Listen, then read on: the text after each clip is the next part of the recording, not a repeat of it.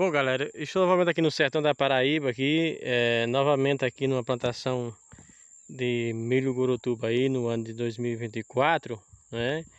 E é, esse milho aqui, pessoal, tá com 43 dias, certo? Já tá naquela fase que a gente chama aqui na região de embonecamento. E aí, pessoal, para alguns aí que perguntam, ah, como é a questão da produtividade do milho gurutuba? Ó, primeiro que eu vou mostrar para vocês, certo? É, como vocês podem observar aqui, tá, tá na fase de bonecamento e é, a gente geralmente planta, pessoal, de um a dois pés por cova, né?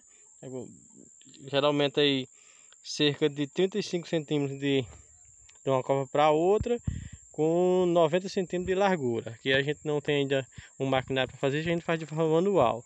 Mas aí, ó, o que eu vou mostrar para vocês. O milho gurutuba aí, a produção dele aí, ó. Em um pé só, pessoal, ó. Vai contando aí. Primeira boneca, segunda boneca, terceira boneca e quarta boneca, né? O normal, pessoal, é que tenha pelo menos duas espigas aí por cada pé, né? Mas alguns pés aí consegue colocar até quatro, né?